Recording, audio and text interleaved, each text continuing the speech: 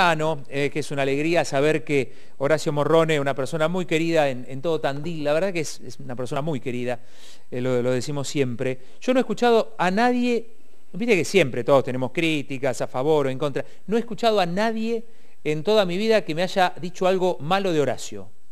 Así nomás se lo digo. Y no son muchas personas las que tienen esa, esa cualidad. Horacio, Gracias por sumarse a este desayuno virtual. No podemos estar juntos acá, pero bueno, lo hacemos a través de este Zoom. ¿Cómo anda usted? Bueno, bien, muy bien. Muchísimas gracias, Claudio. Bueno, mis saludos a, la población de los ciudadanos de Tandil. Este, bueno, y a lo mejor algunos hablan mal, a lo hacen despacio. no ha llegado a mis oídos, Horacio, si eso ha ocurrido. No ha llegado a mis oídos. Bueno, gracias a Mariana también ahí que, que está haciendo todas las gestiones de, conexión para, poder charlar eh, con usted. Cuéntenos, hace 60 años, ¿cómo arrancaba usted con la actividad del seguro? ¿Cómo arrancaba? Bueno, eh, días anteriores este, me había llevado, me había ofrecido trabajo un señor Bassi, que tenía la agencia de seguros en Alén 931. Este, en esa oportunidad me había recomendado para trabajar ahí, yo terminaba de estudiar perito mercantil, tecnología de libros, que era lo que se acostumbraba en esa época. Y, bueno, me llevó mi, mamá este, unos días antes a presentarme ahí y bueno, el señor ya decidió que el primero de junio del año 1960 comenzara a trabajar, 15 años de edad, así que saquen la cuenta justito lo que tengo ahora. Este, y bueno, ahí empecé, eh, lógicamente, barriendo la vereda, lavando los pisos, eh, limpiando la vidriera y empezando a tomar denuncias de accidentes o llenando solicitudes de esa máquina de escribir, que, este, que con eso me defendía muy bien, realmente era un buen datilógrafo. Este, y, así comenzó mi actividad en el seguro, ¿no? Desde un primero de junio. Eh, ¿Y cómo recuerda? Digo, 15 años, eh, hoy por ahí sería casi impensado, ¿no? Pero ¿cómo lo recuerda o cómo lo vivía usted? Porque conseguir un trabajo y además de, esa jerarquía, me imagino que debe haber sido desde lo emocional también fuerte, ¿no? Bueno, como podía pensar en aquella época un, chico de 15 años. Y sí, indudablemente que tenía nerviosismo, te imaginas que tan joven, yo había estudiado en, la Escuela Nacional de Comercio, normal, este, y la única tarea que había hecho de trabajo en algún momento dado le había ayudado a mi padre, que tendría 13 o 14 años, mientras estudiaba, le ayudaba a mi papá, que era constructor, y estaba a mirar lo que es eh, la vuelta de la vida. Estaba remodelando todos los baños del, del Palace Hotel decir, coincidentemente lo que ahora es, que es a mi oficina, ¿no? Este, entonces yo desde abajo le eh, tenía gente trabajando, mi papá arriba, ¿no es cierto? Salto a, este, a llenar los baldes y a Roldana levantaban los baldes para trabajar, eran otras épocas, ¿no? Mi papá me cuidaba demasiado, entonces tampoco quería que yo trabajara porque él quería que siguiera estudiando. Lamentablemente la situación económica yo había que, que no se podía seguir estudiando, que había que empezar a ganarse el peso. Bien, qué, paradoja, ¿no? Y bueno, así fue que comencé, en ese entonces era yo solo con este señor Bassi, así que eh, se hace como una, una amistad, para mí eran mi segundo padre, la familia Bassi, ¿no? Este, eh, Aida Ugalde de Basi y José María Basi, que era con el que trabajaba. Este, y los hijos este, que, terminaron siendo como mis hermanos segundos. Claro, claro, sí, sí, seguramente, porque se vivía todo más eh, como una familia, ¿no? En aquella época. ¿Y cuándo empezó a pensar Horacio que podía tener su, propia empresa, en realidad, eh, regir su propio destino? ¿Pasó mucho tiempo? Mira, eh, yo eh, en, ese interín tuve, eh, no me podía pagar un gran sueldo porque indudablemente la actividad no era muy fluida y no, había tanto trabajo, aparte era una agencia de seguro, un productor de seguro, en ese entonces no, no, no podía pagar grandes sueldos. Entonces yo lo reforzaba con varias actividades. Cuando uno dice, eh, viste que indudablemente eh, que no se puede trabajar cuando uno es menor, porque es el abuso. Y yo creo que, creo, ¿no? Este, crear con esto una polémica. Yo creo que el trabajo no mata a nadie. Y, cuando hay necesidad de trabajar a los 15, a los 14, a los 18 años, lo único que hay que cuidar, el Estado lo único que tiene que cuidar es que no se abuse de, la gente que tiene necesidad de trabajar ahora. Porque hay distintas tareas que pueden hacer los chicos jóvenes, en vez de andar a lo mejor en la calle, dejar de estudiar, andar en la calle, todas esas cosas, pero no me voy a extender sobre eso. Eh, yo aprovechaba para reforzar el sueldo, tocaba la banda municipal, que ya me había empezado, años después me empezaron a pagar un sueldo, este, eh, atendía las cosas del CEP, del Centro de Estudiantes Universitarios de La Plata, por lo cual editábamos un libro, un, boletín, este, hacíamos conseguía la publicidad y conseguía y cobraba la cuota social. Este, con distintos presidentes que hubo en el CEU, Carlito Gastaldi, Jorge Petite, Mario Vulcano, eh, Juan Carlitos Pugliese, bueno, muchísima gente, que eso también me sirvió en mi actividad aseguradora para, para hacerme conocer y que fueran clientes míos, ¿no? Pero pasaron varios años, este, eh, indudablemente en algún momento dado cuando me ofrece trabajo el Centinela, que estuve dos años nada más en el Centinela, Ahí ya fue la actividad donde ya empecé a desarrollar un poco más fuerte la, producción de seguros. Este, se había hecho algunos seguros con, con Basi, pero ya en el Centinela empecé a hacer eh, más seguros por mi cuenta. Este, ahí nos asociamos con el Vasco Gómez y a los dos años fue cuando después el señor Basi me llama y me invita a crear la organización de seguros, que ahí es donde fue el desarrollo total. En el año, eso fue en el año 71, el primero de julio del 71.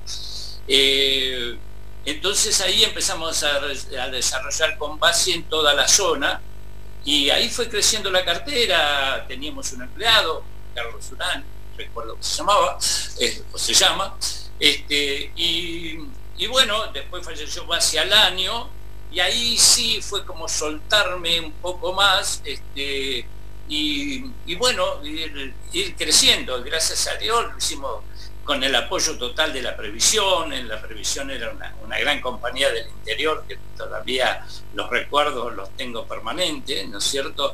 La gente de la previsión me apreciaba mucho porque era el Benjamín, el, chiquito que empezaba a, desarrollarse en la previsión, ¿no?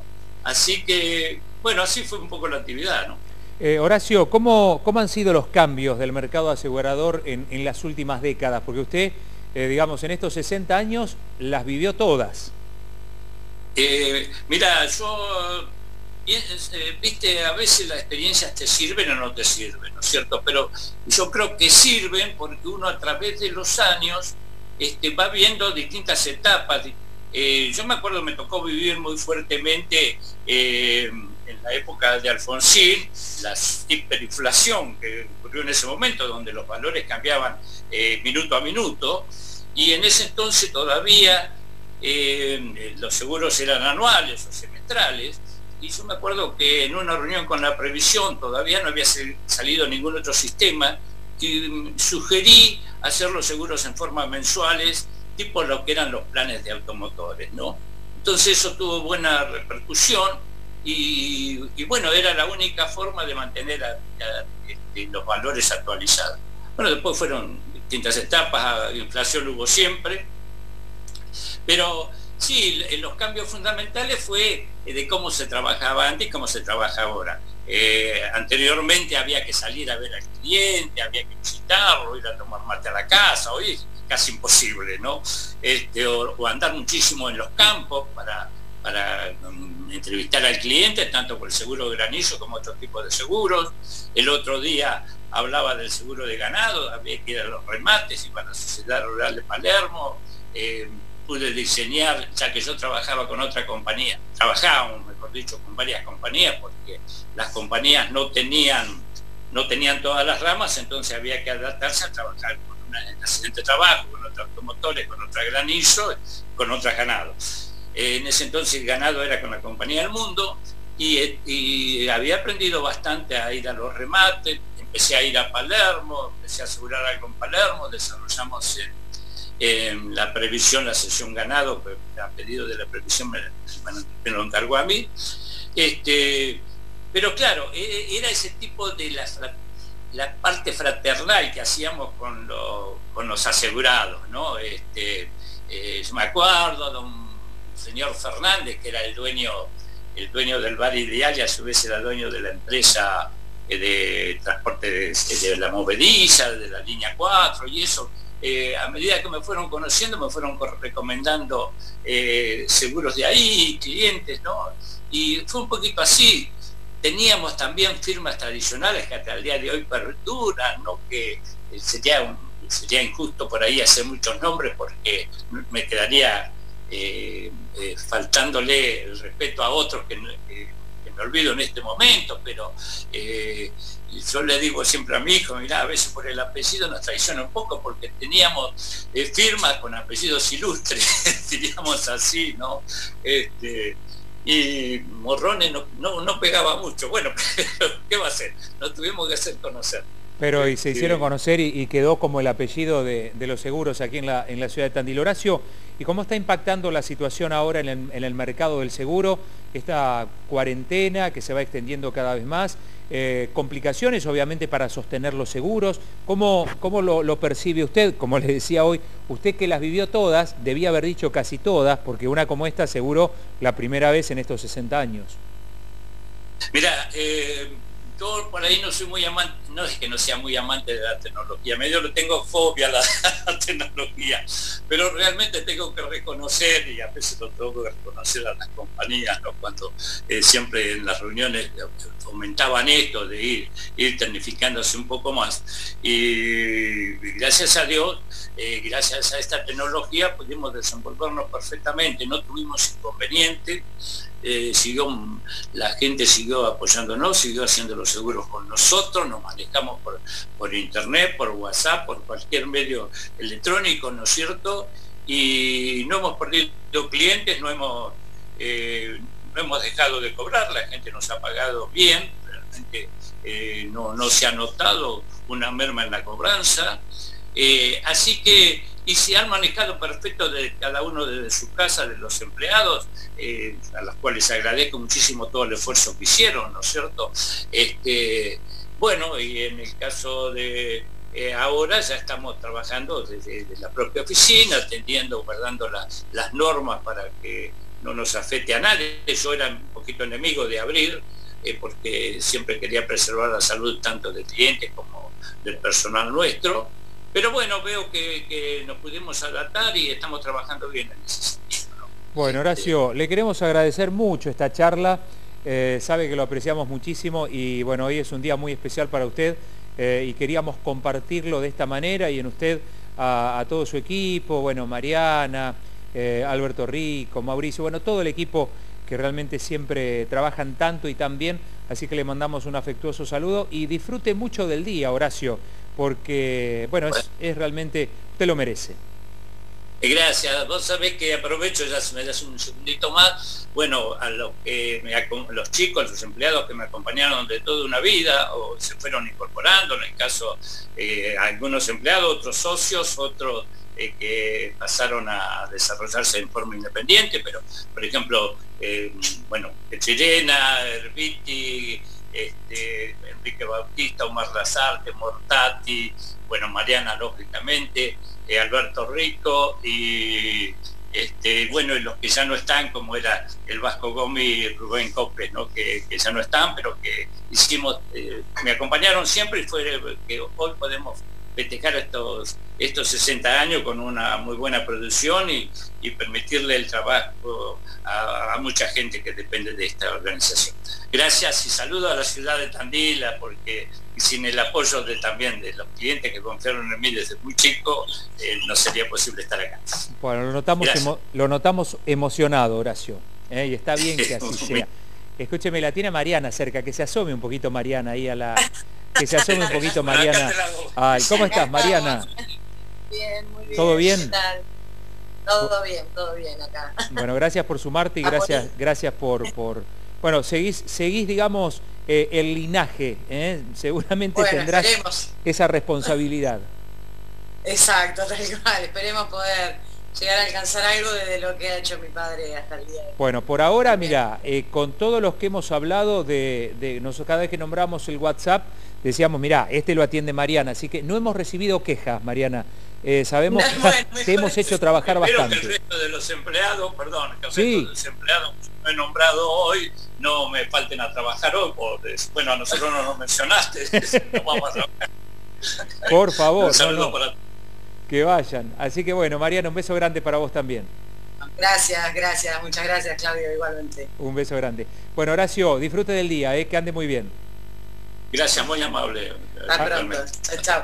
Gracias a los dos. Eh, Horacio Morrone, Mariana Morrone, ahí en el final la hicimos sumar también para, para poder escuchar, aunque sea un segundito de su palabra. Es una gran hacedora, eh, junto, junto con Horacio ahí.